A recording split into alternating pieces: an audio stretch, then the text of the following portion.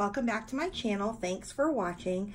I just wanted to share with you today how I store playbills and programs from all of the theater that I see. So I actually use the Avery, um, kind of the most durable binders that they sell, and I'll link them in the notes. Um, I use a big binder for things that are not typical playbill size, and then I use the mini binders for things that are.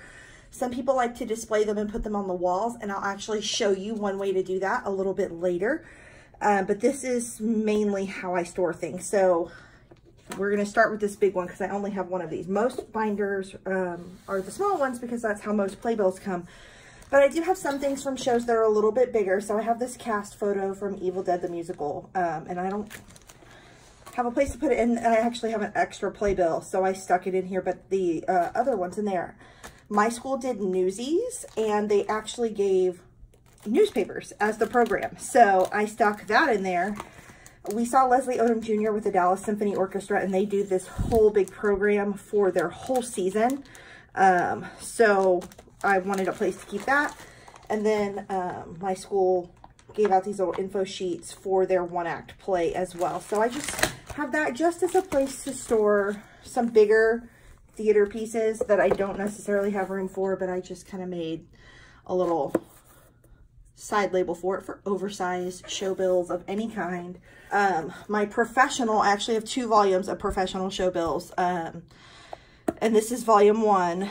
And so this is anything that's um, a, a Broadway show, a um, Broadway um, tour a sit-down Broadway production in another city other than New York, like the Chicago production of Hamilton, something like that.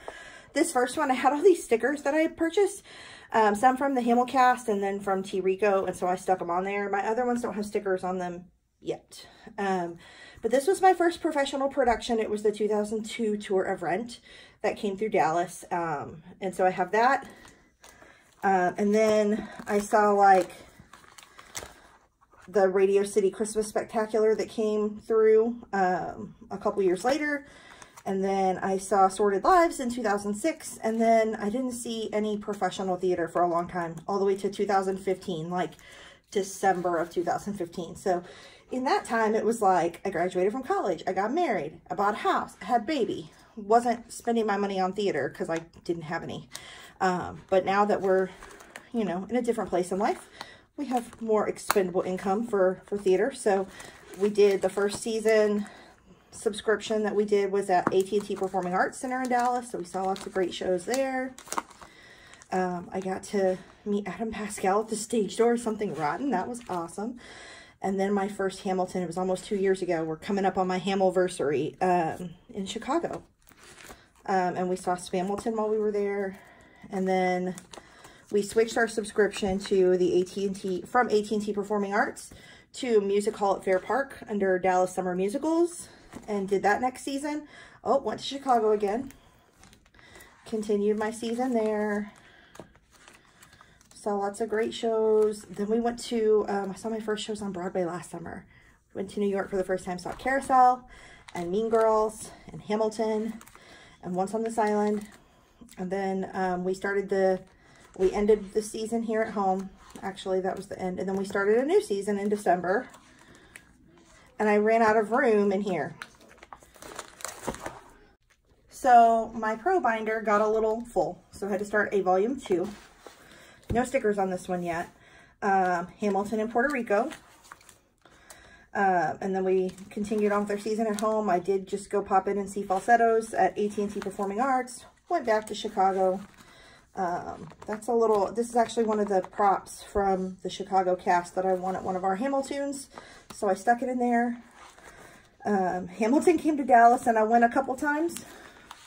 And then they had this little um, brochure that they were giving out uh, about the historical document collection that was came with Hamilton. And then uh, I saw Miss Saigon last. We're going to see Aladdin actually tonight. So I'm going to have some room in there for that. So those are my professional show bills. But that's not all I want to honor. So I actually do have books of other things. This one is my randoms. So these are shows I did not see, but they're things that people have given me, or maybe I went to a show and had some extras. So Um, this is one of the Newsies playbills from 2012. I actually got this with a purchase from Broadway Buttons. So uh, I keep that in there. I bought from eBay the Tony Awards, the Hamiltonies playbill, because I wanted a copy of that to keep. It just barely fits in these mini sheet protectors. I had to really squeeze it in there. My friend lives in Florida, and last year during Pride Month, I sent her a Hamilton Pride playbill from New York, as well as a Lion King one from here in Dallas. And she sent me this rent one. So we did a little tradesy. And then I have the Fosse Verdon playbill from the show that just uh, ran on FX. I had a friend pick that up for me and send it to me. So, and then I have some various Broadway flyers that Lithia of Broadway Buttons has also sent to me. So, um, I may cut some of these things down eventually and make them into dashboards or planner things. Um, but right now, I just keep them in here until I decide how I want to use them. But this is kind of my extras binder for just whatever things I didn't see, but um, I'm holding for some purpose. And then I do have a non-professional binder. So this is like community productions, high school productions, that kind of stuff. So this is a high school production of Beauty and the Beast. This is a university production. So is this. Um, this is my high school that I work at. Did in the Heights. And they did these like cast photo wraps on candy bars. So I stuck that in there too. They also did a junior production of Aladdin. That's a university production. This one year they did these QR codes instead of a proper like program at my school. So um, I kept that. This is a community theater production that I had a former student in, so I went to see that. Evil Dead the Musical, we went to uh, Maryland to see because I have friends involved in that.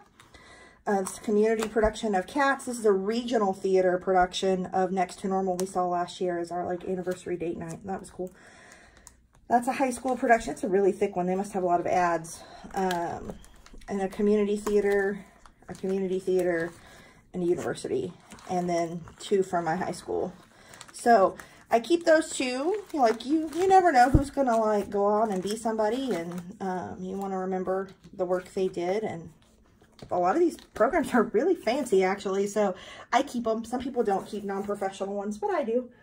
The other thing I keep in these binders is not, it's theater adjacent. So these are TeeRico and cast autographs that are not on playbills. So I just stuck a TeeRico sticker on there. Um, but if you order from TeeRico, every month they give you a different postcard. Um, and some of these I have because I have literally ordered every month from TeeRico since they started. And sometimes I've, if I've missed a month, they sometimes will sell the thank you cards from previous months for a couple bucks. And so I'll add them to my next order. So yeah, I have ordered from TeeRico a lot, but maybe a few less times than I have cards. But all of the order cards that you get every month, I have saved in here. Um, some of the cards, like um, this one's from like the Prizeo campaigns. Um, and I didn't win, but paid for the postcard as my thank you gift a couple of times when I didn't have the money to donate at the higher levels. So I've, I've literally got everyone except for the June one, but I haven't placed my June order yet. I do actually have something I want to order, but I'm waiting for payday. You know how that goes. Um, but yeah, so I've got all these TeeRico cards in here.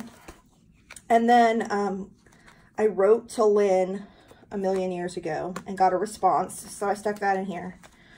And then my son also wrote to Lin and got a response, and I stuck that in here to keep it protected. And then Jose Ramos, who is of the original Chicago Hamilton cast, is like super good at being a pen pal. And I donated to his Puerto Rico uh, benefit concert thing. And so he sent me some little thank you notes. And then actually I wrote him a letter. He writes, he writes back like he'll be your pen pal forever and ever if you keep it going. Um, so I stuck those in here too. He's really, really sweet. Um, he's actually the first Hamilton cast member I ever met, and he's super, super kind. Um, he's not in Hamilton anymore. He's working on his own music and doing some other stuff, but he's fantastic.